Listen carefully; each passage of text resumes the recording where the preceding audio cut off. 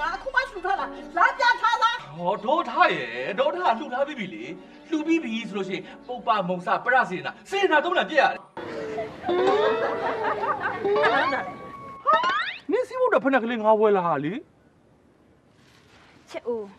နင်ဘာပြောလိုက်တယ်ဟုတ်ဟုတ်နေဟမ်နေနေပါဦးဟာဒီလိုပါဟိုငါအမေကငါ့ကိုပြောဘူးတယ်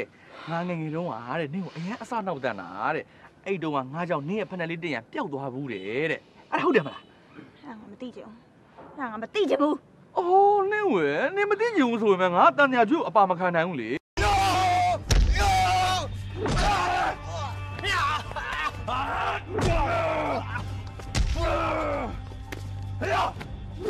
နင်းကိုလေတွဲလုံးကကြိုက်လို့တဲ့အဲ့ဒါသူ့ကိုပြန်ကြက်လိုက်စမ်းပါဟာဟေ့မင်းကဘာဖြစ်လို့အဲ့လောက်ထိကဲထွက်လာတာတော့ အတန်အတန်ရအချင်းကြီးပဲဒီခန္ဓာကိုယ်တက်တိလေးတွေကထွက်လာတဲ့အတန်မဟုတ်ရဲ့လားဟုတ်တယ်အဲ့ဒါသူ့ဩတာချစ်ဦး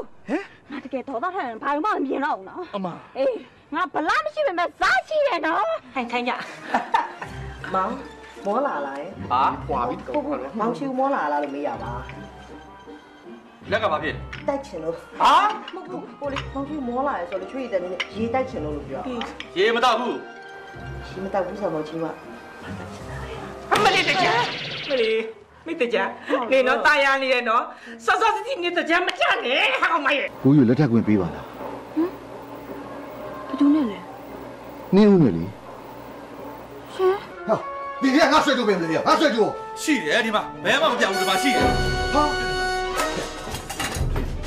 မင်းငါဆွဲကြိုးကိုခိုးထားလိုက် ဟာမဟုတ်ဘူးကျွန်တော်ခိုးတာမဟုတ်ဘူး အဲ့ဒီ ဟဲ့ငါရေခက်မလို့ဖဲလန်း ဟာ အဟိထဲမှာလဲလိုက်ပြီးစုံစမ်းကြည့်လိုက်ဩလောကကြီးမှာဘယ်အရာမှလကားမရဘူးအခုအဲ့ထဲမှာတောက်ရည်လဲပါသွားပြီ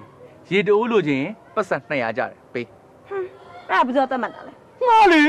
မစ္စတာကိုကိုချီဦးကတတ်မှတ်တာပါရတဲ့ကောင်တွေလည်းဟဲ့လိုက်ပါပါပါရတဲ့ကောင်ကြပြီ